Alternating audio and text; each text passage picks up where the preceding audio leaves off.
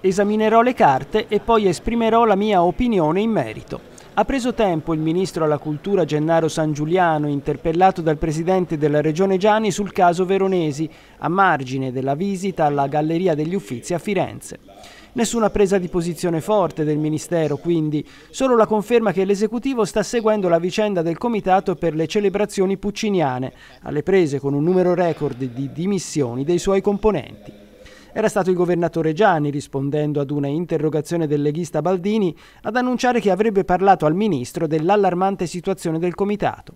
Il consigliere regionale si era augurato tra le righe che il ministero chiedesse le dimissioni di Veronesi, accusato da più parti di non saper gestire il comitato. San Giuliano invece ha preso tempo.